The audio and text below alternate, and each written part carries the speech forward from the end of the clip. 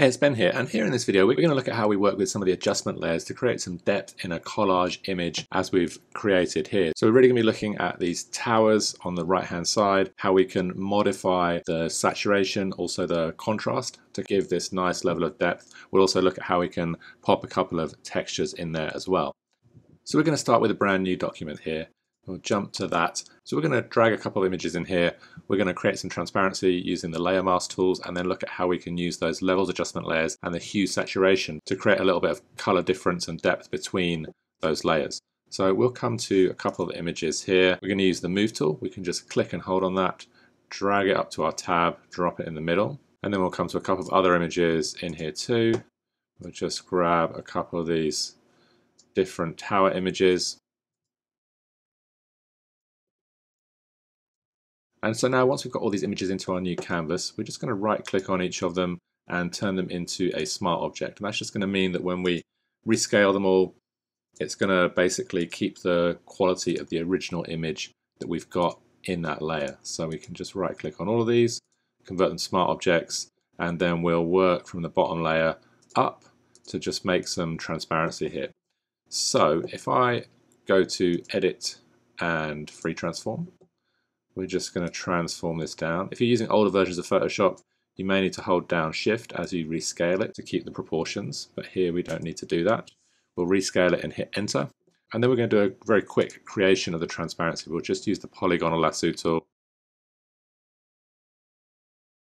And I'm really just going to run around the edge of this tower very quickly. I'm not going to worry about the detail of it because we can always come back in and modify the edges. That's the nice thing about using the layer mask is that we can always kind of modify and change the mask that we've created. So just clicking dot to dot around there with the polygon lasso tool, we'll hit the layer mask button down at the bottom right here, which is going to create our transparency. And then we'll just work our way up through all of these images. I'm just using the shortcut V to tap to the move tool to bring this back to the middle. And we'll also transform this one down. So again, Command and T, just scale it down. And again, we're just gonna grab the polygon lasso tool. We'll zoom in a bit here. So Command or Control plus, and we'll just quickly come around this tower, really kind of catching the main edges of it. And we can always come back in and fix some of these edges once we're happy with our composition. But generally, I'll try and really create a rough design first and then begin to work on that and improve it as I go along. We'll just grab the tower like this, hit the add layer mask tool down at the bottom right here, and that will create our transparency there. I'm going to move this one behind our other tower, and then just using the, the move tool, I can pop it over to the left here. Then we'll grab this next layer up, do the same thing. Again, polygonal lasso tool, just quickly dot to dot around the edges here. I'm not going to worry about the the kind of detail at the edge of this tower. We're just going to come straight down. And again, we can always come and fix this up a little bit later if we decide that we need to. Add a layer mask there, and then come to the topmost image. Again, Command and T, or Control and T on the PC. We'll need to zoom out of this one. This image is a bit higher resolution. And we'll just get this to fit in, hit enter, and then we'll just zoom in again holding on the spacebar to, to move around here. Again, using the polygonal lasso tool, we'll just quickly come around here, not worrying too much about the detail of the edges. Okay, so now we can again click the layer mask on there and then we can zoom out a little bit. And what we'll do is begin to kind of position these. So I'm going to pop this tower over on the right hand side here We'll then grab this one. So I'm just holding down Command to jump between my layers as I move them around. I'm going to go to Edit, Transform, and Flip Horizontal. We'll again move this up over here and then we'll grab this tower and I'll move this one and actually I'm just going to rotate it just a little bit out. We're going to do a bit of a disjointed perspective in here. So we'll transform this one down a little bit and just have it popping out on this side here. So with these kind of four images here, we've got them all in different layers. Our topmost layer is this image in the foreground. This is our next layer down.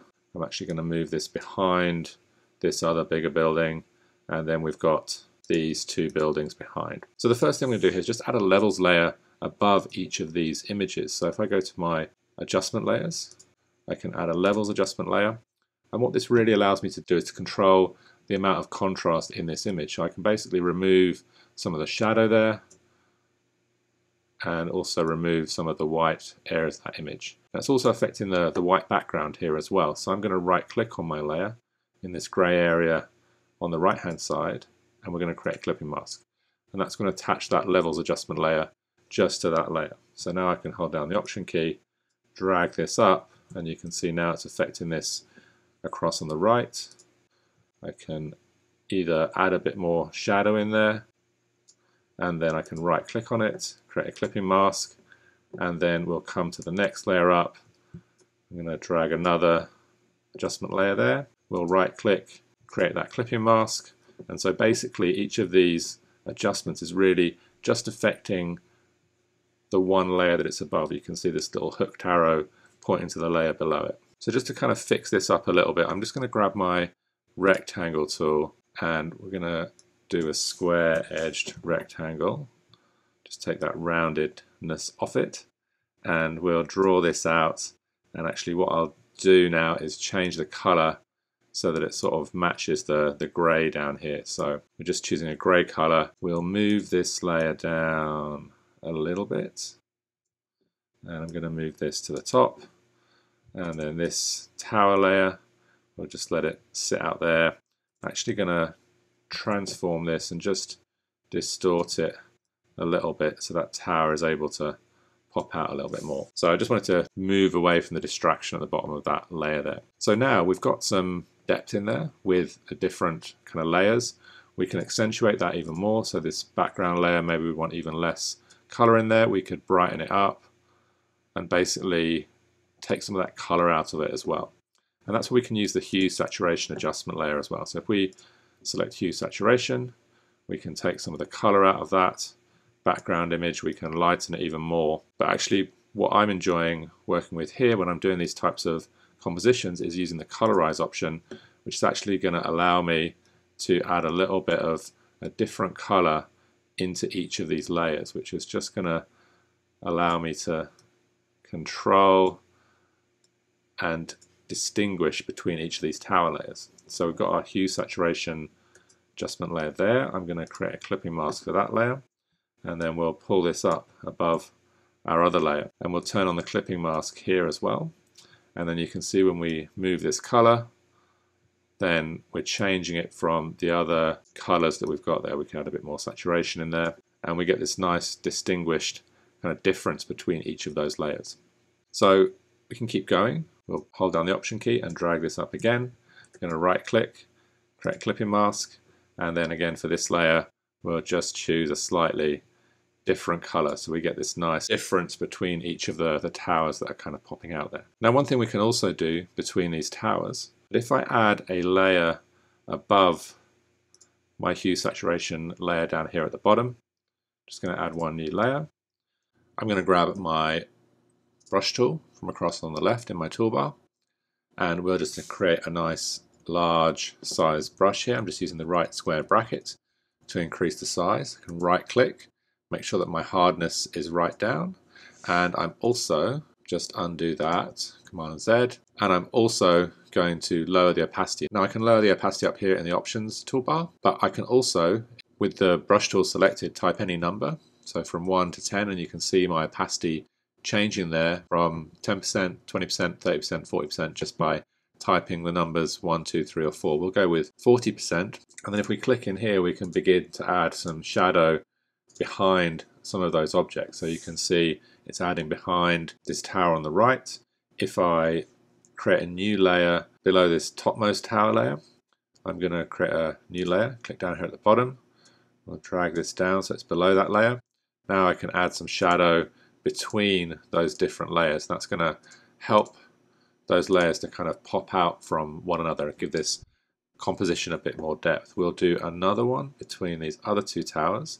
So I'm going to create a new layer and then I'll just drag it down below this tower on the left. And again, we can add in some shadow there that's going to help those layers pop out from one another.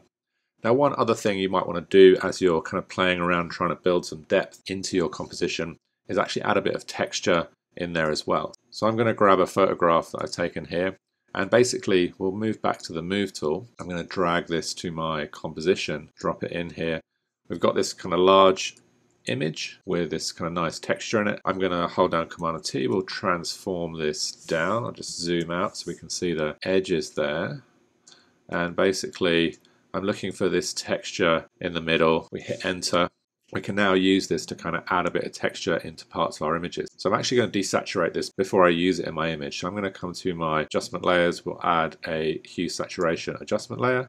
And for this, we're going to drag the saturation right down. And then I'm going to select both these layers. And then either by right clicking and going to merge layers or by using the shortcut control or Command and E, it will merge those layers. You can see I end up just with this black and white layer. So it's merged the adjustment layer into that layer. So now I can drag this down. Before I do that, I'm just going to double click on properties up here and color. It's just going to reveal a bit more of my layers panel. And now I can drag down this hue saturation layer. We'll drag it to just above that bottommost tower on the left here. I'm going to move this across and I'm going to right click, create a clipping mask. You can see it goes into that tower.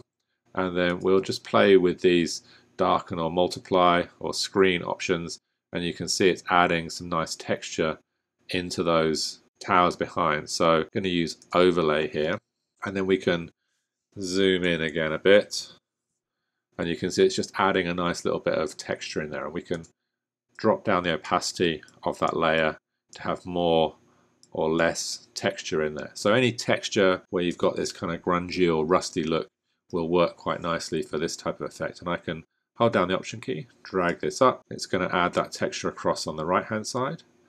I can right click and create clipping mask so that just kind of focuses it in on that building.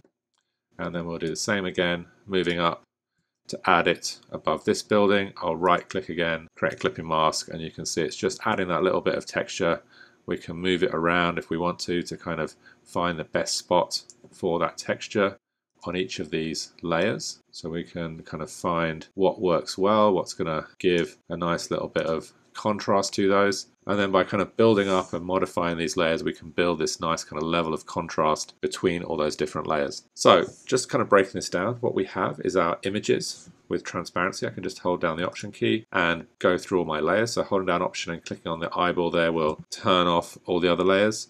So basically we're layering up our levels adjustment layer, our hue and saturation, and then this textured layer. And then this shadow here is actually sitting on top of this building. And then if we go up a little bit more, we can see we've got our other layers. We can gradually turn them on just to see what we've done. Again, some more texture on that particular building, building up and then into these other layers with these other kind of shadows added behind some of the buildings. We've got this nice texture building up as we kind of go up and through each of our layers. So hopefully this is useful when you're thinking about adding this texture and contrast between different layers. We can also do something about this bottom rectangle that we've got. So at the moment, this is just really kind of obscuring everything. I think I prefer to have that as a, an ellipse. So I'm actually going to change this to ellipse. We'll change the fill to that gray and now we can it will drag right from the top. I want to get something that's going to go from corner to corner. I'll hold down shift so it's a perfect circle. And then we can kind of bring this down here. We'll transform this a little bit more so that it touches those edges. I'm going to hit enter. And actually I'm just going to go to image canvas size and I'm just going to increase my canvas at the bottom there. So I'll make this 50 inches and that's just going to add a little bit more space at the bottom there so we get that whole circle in and so now you can see we've got this layer in there I'm going to drop the opacity of this first and then I'm going to grab my polygonal lasso tool I'm just going to make a layer mask for this so we've got a little bit of space to kind of blend this circle with the rest of our layers above. So with a shape as well, we can add a layer mask. It's going to cut this off here and then we can cover a couple of little steps here. I'm going to turn the opacity back up here so we get that solid color and then on my layer mask here I'm just going to grab the brush tool make it a little bit smaller and this is set to the black brush and I'm going to set this to 100% and I'm just going to draw along this edge and it's just going to blend that in nicely there.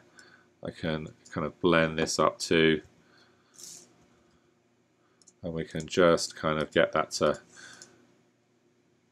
add to the bottom of this image here nicely so it blends up.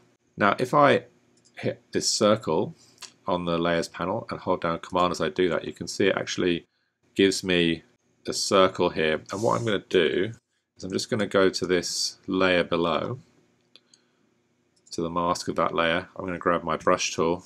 This time we'll drop down the size of the brush and I'm going to invert this uh, selection. So Shift Command and I is going to invert my selection and basically so it's selecting this area outside that. I'm going to flip to the black color and now make sure I select the right layer here. So it's actually this layer below. I can basically fix that mask so that it is now matching that circle. So we'll come across the other side, that one looks pretty good, and then we'll do Command and D to deselect that. I can again use this textured layer above that layer, we'll move it here, and I'm going to turn that into a clipping mask, and we'll turn down the intensity of that bit. So you can see now we're starting to build up this kind of nice focused shape that focuses in on these buildings, the differentiation between those layers, and then also this kind of nice texture in the bottom here. Now we could also, I'm just going to turn off this layer, use something like a, a, brush layer at the bottom here. So if you've made any custom brushes or anything like that, so then you can jump in here and use a custom brush. I've got my custom brush saved down here. So now I can basically paint on this layer. I'm just going to decrease the opacity of that and we'll just paint across this and I'm going to modify my brush here a little bit. I'm going to increase the scattering. Okay, I'm just going to paint across this, add that little bit of texture in there with my, my custom brush, right click, create a clipping mask, and then you can see we can get that nice texture of the brush in there. We can use things like darken or even something like overlay or soft light to blend that texture in there. So we can use a textured layer, or if we're looking to think about how we can kind of incorporate brushes into our design, then we could use a textured brush uh, in there as well to actually blend with that. So you can see we get this nice build up of different layers of texture within this design.